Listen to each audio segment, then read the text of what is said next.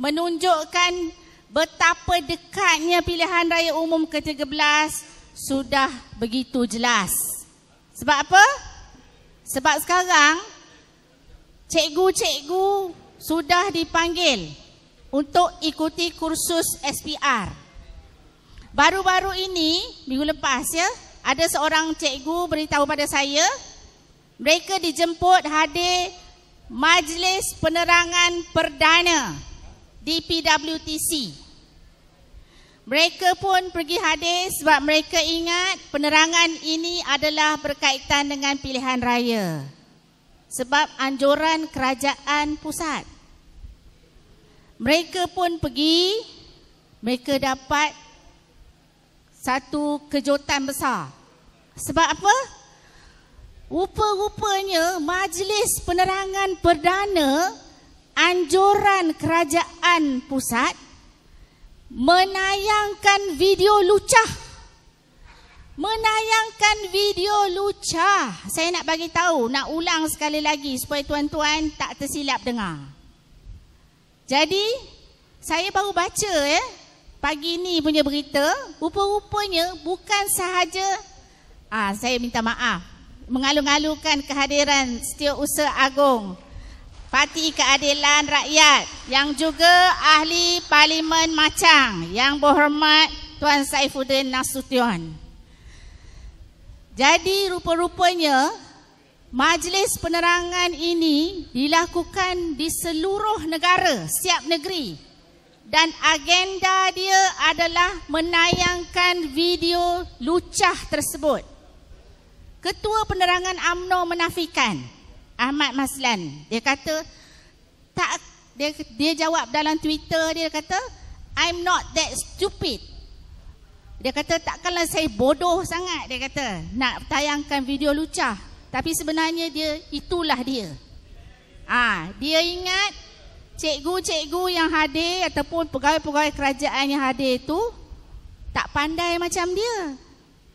Bila mereka lihat perkara ini, mereka amat kesal. Ya. Sebab tak ada edit. Video yang ditayangkan tu tak ada disunting. Semua ditunjuknya. Jadi ini satu penghinaan ke atas mahkamah kerana kes tentang uh, Datuk Seri Anwar itu masih dibicarakan di mahkamah. Ya, itu satu perkara. Yang keduanya, dia sudah melanggar etika. Sebab apa? Menayangkan video ataupun filem blue film. Ya, sebab kalau kita yang jual VCD di pasar-pasar malam tu, kalau ada yang didapati jual blue film, kena apa? Kena rampas, betul tak? dan diambil tindakan undang-undang. Betul tak? Ah, tapi sekarang ni yang menayangkan video lucah adalah Kerajaan Barisan Nasional. Jadi saya nak minta tuan-tuan dan puan-puan yang hadir malam ini dalam pilihan raya yang akan datang apabila membuat pilihan lihat dulu perbandingan antara Pakatan Rakyat dan juga Barisan Nasional supaya tuan-tuan dan puan-puan tak tersilap pilih. Saya nak ceritakan ya perkara-perkara yang telah dilaksanakan oleh pimpinan Pakatan Rakyat dalam kerajaan-kerajaan yang diterajui oleh Pakatan Rakyat. Satu, Kerajaan Negeri Selangor ya telah mencapai simpanan yang tertinggi dalam tempoh 28 tahun sebanyak 1.1 bilion. Ya. Tak pernah dalam sejarah Selangor kita capai simpanan reserve. Kalau kerajaan pusat dia buat belanjawan lebihan ataupun defisit, kerajaan Selangor boleh simpan lagi. Cuba tuan-tuan dan puan-puan fikir, kerajaan mana yang lebih bagus? BN atau Pakatan Rakyat? Tak dengar. Pakatan Rakyat, bijak. Yang kedua, Pakatan Rakyat kalau di negeri Selangor berjaya mengumpul ataupun mengutip hutang sebanyak 250 juta. Ada tambahan lagi. Boleh kutip hutang lagi. Kalau Barisan Nasional berhutang sehingga puluhan tahun kita terpaksa tanggung hutang-hutang tersebut. Perdana Menteri, kalau belanjawan dulu 2011, Jabatan Perdana Menteri ya, sahaja bajet dia 4 bilion. Kerajaan Negeri Selangor 2011 kita punya bajet ataupun belanjawan 1.3 bilion saja. Tiga kali. Jabatan Perdana Menteri tiga kali bajet dia daripada berbanding dengan kerajaan negeri Selangor. Nampak tak pembaziran berlaku? Macam mana dia tak spend? Macam mana dia tak belanja banyak? dalam dia ada flom. Tuan-tuan dan puan-puan tahu tak apa itu flom? F-L-O-M. First Lady of Malaysia. Ah, First Lady of Malaysia. Jadi bajet kena tanggung flom punya jabatan. Ah, ada satu jabatan khas. Ah, wanita pertama Malaysia. Jadi berlaku pembaziran. Jadi kita tak boleh pilih kerajaan yang membazir sesuka hati.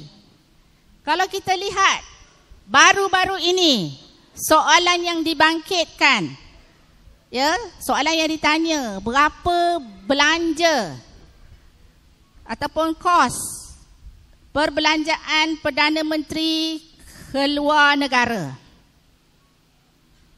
Tak usah cerita manalah pergi Australia baru-baru ini. Ya? Berapa juta? Ahli parlimen kita tahu ya, berapa juta.